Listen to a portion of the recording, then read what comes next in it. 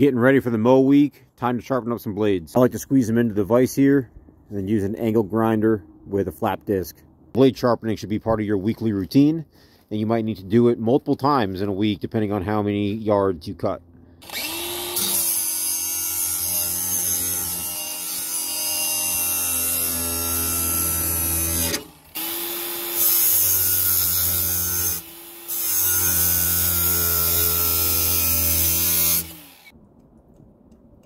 Much better.